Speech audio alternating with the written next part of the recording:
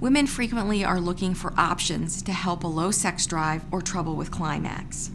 Many women ask about testosterone prescriptions, since that's been dubbed the hormone of desire. And testosterone is present in both men and women, with women having about one tenth the amount of testosterone as males.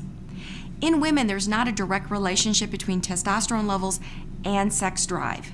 Most women do not need pres- pres- prescription testosterone.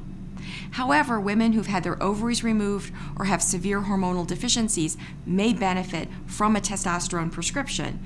Although in the United States, there's no FDA approved prescriptions for just plain testosterone. So a woman really needs to see an expert in hormones in women. In terms of climax, most women climax some of the time and usually need direct stimulation.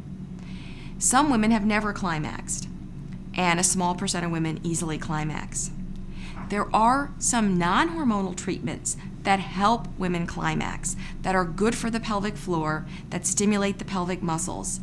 So, there are over the counter pelvic stimulating devices that can help someone who has sexual dysfunction.